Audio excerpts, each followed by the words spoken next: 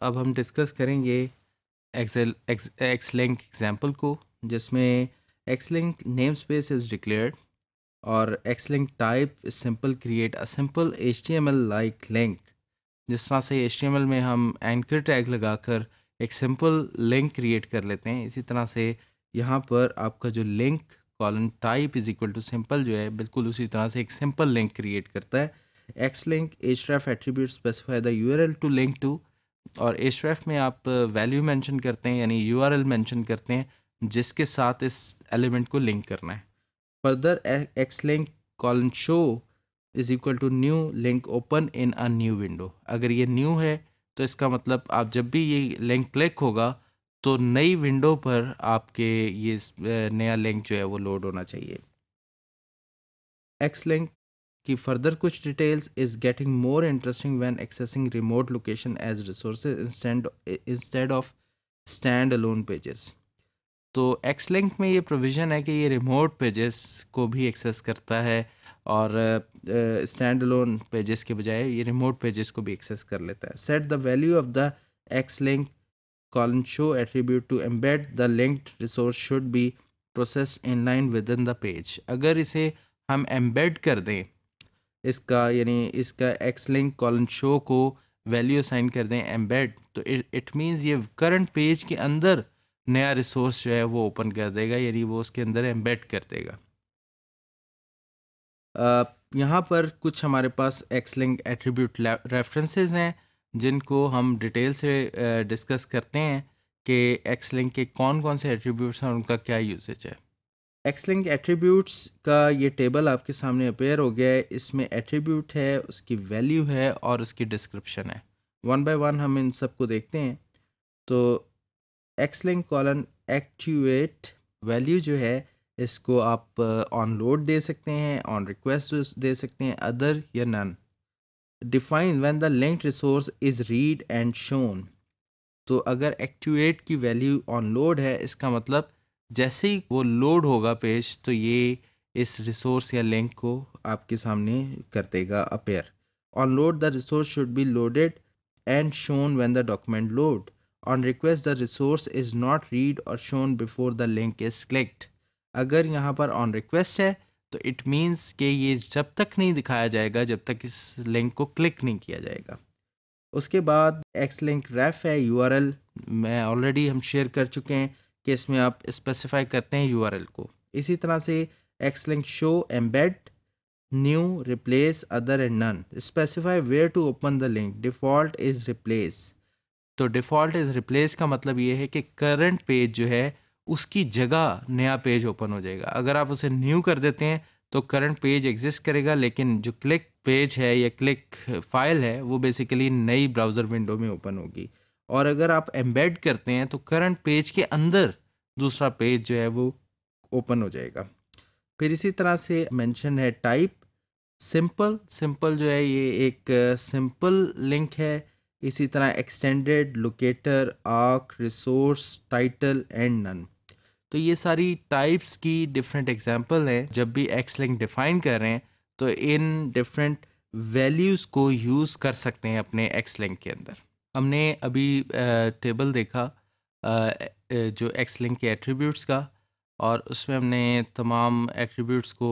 कुछ ब्रीफ तरीके से एक्सप्लेन किया और उनमें पॉसिबल वैल्यूज़ डिस्कस की कि क्या पॉसिबल वैल्यूज़ आ सकती हैं एक्स लिंक के अंदर अब हम डिस्कस करते हैं X pointer X pointer allows links to to a specific part of an X, of an XML document.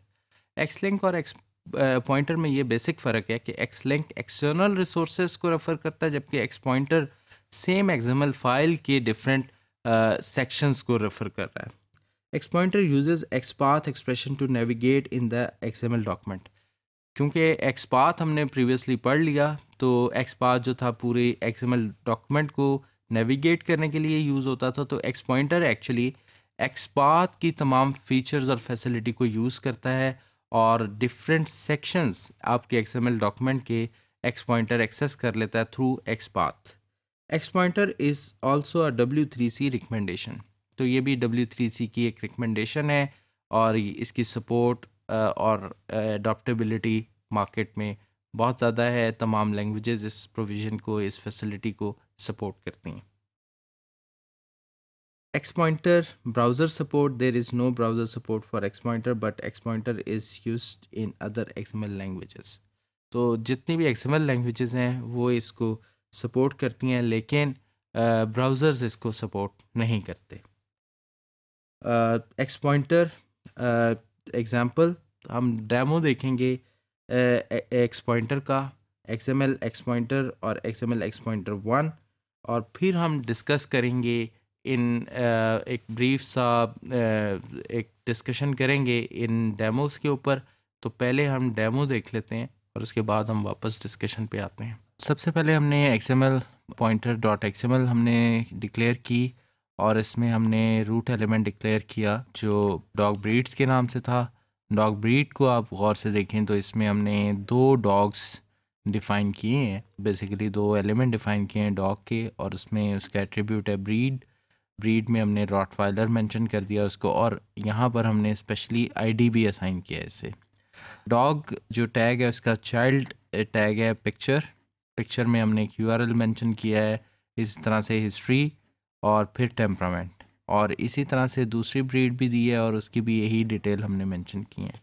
और दूसरी ब्रीड जो दी है उसको भी हमने एक आईडी असाइन कर दिया। तो यहाँ पर ये बड़ी इंपॉर्टेंट चीज़ है कि जब हम एक्स पॉइंटर्स अप्लाई करने जा रहे हैं तो हमें जिन एलिमेंट्स को नेविगेशन देनी है या जिन, जिनके ऊपर हम एक्सप्रेशंस अप्लाई करवाना चाह रहे हैं एक्सपाथ के तो वो यहाँ पर हमें उनको आईडीज असाइन करना ज़रूरी है। अब हम इसकी देखते हैं एक और एग्ज़ाम्पल जो बेसिकली जिनमें इस एग्ज़ाम्पल को नेविगेट किया जा रहा है। तो आप देखें, यहाँ पर भी इसी तरह से हमने हेडर अप्लाई किया है, उसके बाद माई डॉग्स